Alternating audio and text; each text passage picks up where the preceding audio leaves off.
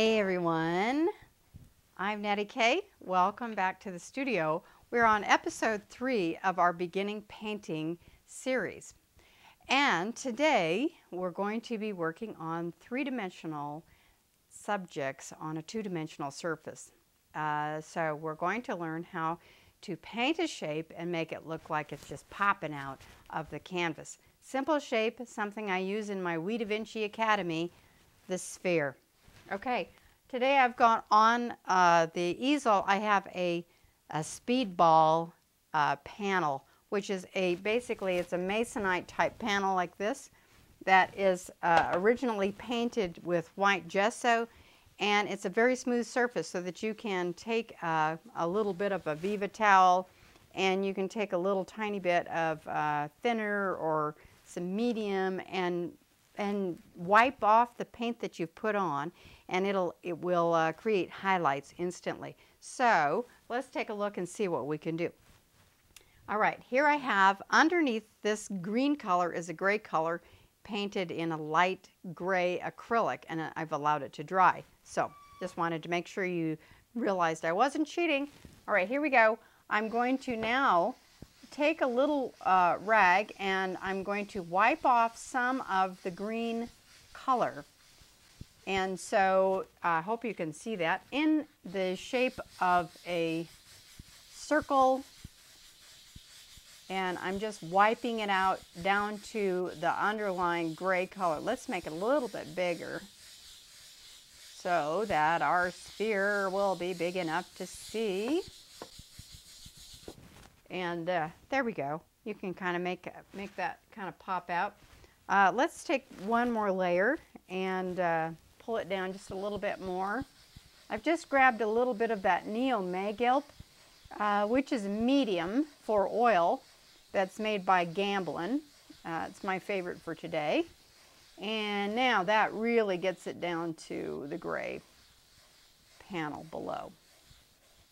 The tonal values that we're going to be using, uh, it's really important if you're going to do a three-dimensional surface, uh, three-dimensional illusion, that you have three, at least three tonal values. What do I mean by that? Dark, middle, and light.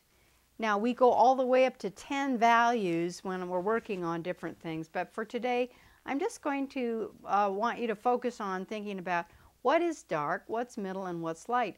Nothing looks three-dimensional until you have at least one, at least three of those tonal values, dark, middle, and light. Okay, so this is kind of our middle tone right here. All right. So what do I need to do to make that look as though it's sitting on a table? Now I use this with my We Da Vinci Academy. I have a little children's academy. I teach five-year-olds how to do this. So you can do this. All right, come on. Now, I'm going to put a table on by putting a line up to the sphere in progress. And I'm going to try to come out on the other side and do make a straight line coming out. Well, I hope I can do this. I want you to be able to see it, so I'm just going to do this. And we're going to set her down. Now when you're sitting off to the side of your canvas, you're going to make your objects are going to become askew, which means distorted. Uh, you want to be sitting directly in front of your canvas. So if I were, then you wouldn't be able to see. This is me directly in front. Hello, you can't see what I'm doing. I'm going to try to keep my hand out of the way so that you can see too. So bear with me. All right. So here's our uh, here's our ball that's coming out and the table behind it. Now, the first shadow I'm going to lay down is going to be the cast shadow. Um, cast shadow is just a shadow that's cast by an object onto a surface, okay? And I'm, this time I'm going to pretend that the light is coming from uh, over here. Here's my little light bulb and it's shining this direction, okay? Sometimes I do this in class and I look down at the children's work and they've drawn the little, the little light fixture. And I say, you don't have to draw a light fixture. Oh well, this just tells me which way the light's going. And so now I'm going to grab a little bit of uh, dark pigment. I've got a couple of colors on my palette today. Um, the colors that I'm working with are uh, phthalo green and a little bit of, um, of an ultramarine purple I've got um, a little transparent orange for something a little bit later, and some titanium white. That's all we need for today. Now I'm going to uh, about if if I if this were a face of a clock, I start about six o'clock down here for this particular angle, and I'm going to make a straight line that comes out right here, straight line out, and then I'm going to pretend I know where seven o'clock is, and I'm making another straight line out like that. And then I'm going to uh, make this into a kind of a rounded area right here. Now this is the cast shadow. So now I'm going to come in underneath and then reshape that ball by putting this tone up against that tone and then kind of filling this in a little bit for now. Let's see, there we go. Okay, now, that's already starting to look as though it's kind of a shape sitting on a table. Yes? Yeah. Okay, now while I have this dark tone on my brush, I'm going to now take it and go inside the ball and put on kind of a crescent moon shape. This is the dark, and it's this is a, that phthalo green. You guys, if you're wanting to do those um, mason jar paintings like I have on my Etsy site. Really, really popular. There might not be any left if you go looking, but I'll try to make more. Um, you know, the ball jars where it looks really, really real. People love those. Uh, this is a great color for that. It's called phthalo green again. And uh, it's just pretty much really, I, I, add a few other colors, of course, to the jar, but that's the, the basic color of some of those glass jars. Okay, now uh, the next thing I'm going to do is I'm going to add a little bit of white to my color. And I'm going to put that in the middle, right there. And I'm going to create a middle tone by moving a little bit of that dark into the, the light and then I'm just kind of swishing it around, moving that up. I like to now take that dark and move it towards that light or the middle tone. It feels really, really light, but that's okay. You'll see just how, how middle it is in a second. Now, one of the things that, that um, you can do is you can take any shape, base it in with a middle tone, add a light and a shadow, and it will begin to look real. I'd like to make this a little bit darker, so I'm going to add a little more of my dark color into the mid-tone.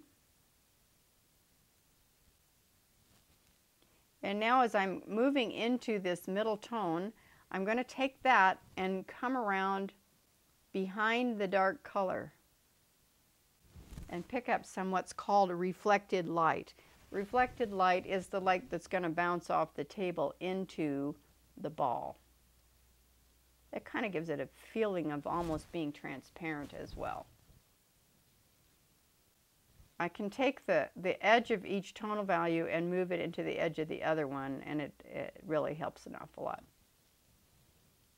Okay, now I've got the middle tone, I've got the dark tone. I know it feels like it, it's light, but it isn't. Check this out. I'm going to throw a highlight on first, and then I'm going to blend it down into the thing. All right, here we go, into the ball. I'm going to put the highlight there. That's white, all right? That's really, really light. And now I can take that light, and notice how I didn't put that on the edge of the ball. Why? Because if I did, it would make it look like it was a paper cutout.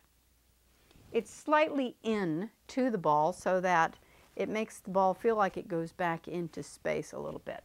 So now I'm going to take this white and with small circular strokes, I'm going to push that around and mix it with the paint underlying. So I'll, I'll, wipe off my brush now. I don't want the white to overcome the entire ball. So now I've got kind of a clean dry brush. I don't, uh, I'm not like Bob Ross and sticking my paintbrush in and wiping the devil out of it or whatever he says. Um, I just wipe the brush off.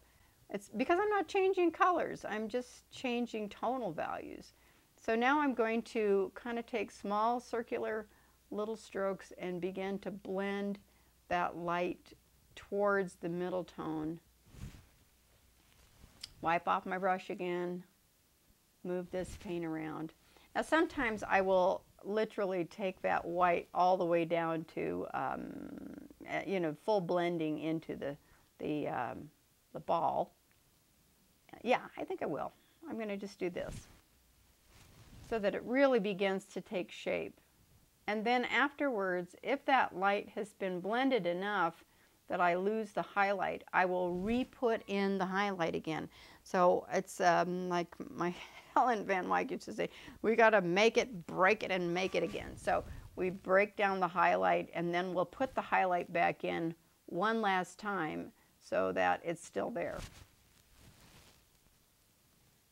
Okay, now uh, what I mean by that uh, is, is this. So we've kind of, whether you believe it or not, we've lost some of that light. And so now I'm going to come back in with some straight white or maybe some with a little bit of a yellow even. I might even color it a little bit so that it pops out and I put that back on and then take out a little bit of the, of just kind of fuzz out the edge a little bit on there like that. Okay, good. Now if I really want, this, this is a messy shadow down here. I don't want it, um, I don't want it messy. I don't want it super sharp either. But if I want this part of the ball to really stand out, now here's the fun part. This time around, I'm going to take a little bit of transparent orange, one of my favorite colors to mess around with, and I'm going to add a huge amount of white to it. A lot of, a lot of white, and it's a very, very hot, warm color. And so, now, watch this. I'm going to now shape this ball by coming in behind it. Oops, I just dented the ball. That's not good and uh, putting this transparent orange with white behind here. I'm going to, don't do this at home. All right, there we go. Here's our ball again. And uh, I'm going to come around on this side and help shape the ball there. And make sure my table gets straightened out. I got to be careful of that. Okay, and we just really, really made that nice a wonderfully cool green color just pop out with some some daylight. Now I'll probably, most of the time I'll use a much larger brush for this, so let me try that. This is a uh, one inch wide bright brush. It's a number 20 from the Blick uh, collection of Scholastic, Blick Scholastic white, Wonder White brushes, my favorite. And I can just kind of patch that in this way. Um, and I'm putting my strokes in, uh, once I get them kind of established, I want my strokes on the table to mimic the table and be flat going across. Now, uh, on this shadow now, I'm going to take the smaller brush again, and I'm going to wipe off the paint on the brush, and then I'm going to come up like this, and just go between, so my brush is halfway onto the yellow and halfway onto the green and I just run this dry brush on the edge of the shadows so that it is softened uh, and um, doesn't look like a hole in the table. Okay. I'm going to do the same thing with my another dry brush. I'm going to come around the edge of the ball because the ball is a rounded object. It needs to be soft. It took me years to figure out how in the world do you soften something. Half the time I I still struggle with that. But I just use a dry brush or a Q-tip or, you know, something soft. Or brush. Yeah, brush, Q-tip. Uh, if you're working in acrylic, you can use your finger. Okay, now what would happen, what happens if I want to make that look transparent? This is kind of cool. I'm going to take a little bit of that yellow color from the table and now I'm going to put it at the bottom of this ball. That's really kind of orangey. Now let's make it a little bit lighter. Like that. What the other thing is that if it shines through, if the light shines through a glass ball, the shadow will not be solid, okay? It will also have some of that light shining through right there. It's just kind of a cool thing that works. So when you look at some of the jar paintings, they have light shining through them like that. Just a little bit. Okay, now I'm going to take my clean dry brush again and blend out the edges of that so it doesn't look like just a big blob of paint. I'm going to merge that light a little bit. Uh, and here's the fun part. This is how I do corneas as well. Think about that. I pop, the light goes there and it pops out here. And so dog eyes and people eyes are made in a very similar fashion. And we'll get into that a little bit later. But hopefully you'll be able to stay tuned and follow. Make sure you get a chance to go online and see if you can find any of my paintings on my Etsy shop. And see if you can find where I've used what I just taught you today. Gonna, that's really cool. Okay, re-emphasize that dark right here and blend the edges together. I don't blend the whole thing together because I'll lose what I've put down. So what I'm really trying to do is just kind of blend the edges of one tonal value with the edges of the next. Now I'm going to take this larger brush very, very, very carefully, very carefully, and clean it up, and then two hairs in some air, as Bob used to say. And just kind of smooth that so that it looks a little more glassy. If I press down too hard, I lose the whole shape.